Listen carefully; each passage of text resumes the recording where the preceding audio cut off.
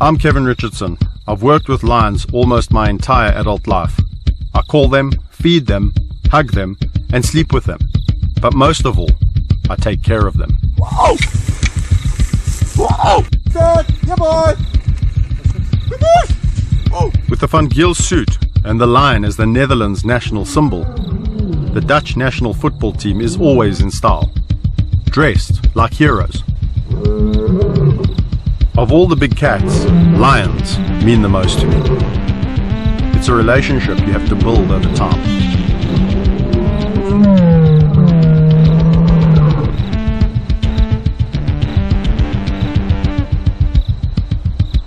I know the Dutch have a strong relationship with the lion too. It's Holland's national symbol. There's even a Dutch football song called Laat de leeuw niet in zijn hempie staan, which means don't leave the lion hanging out to dry. Don't let him down. And that's what it's all about.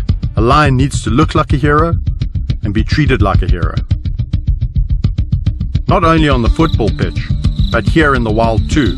The wild lions need our help, and my wildlife sanctuary is here for them. Today, lions live on less than 20% of their former range in Africa due to habitat destruction, human predator conflict, poaching, hunting, and illegal trade.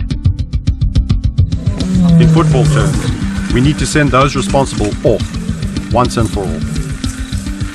This is a goal we have to make.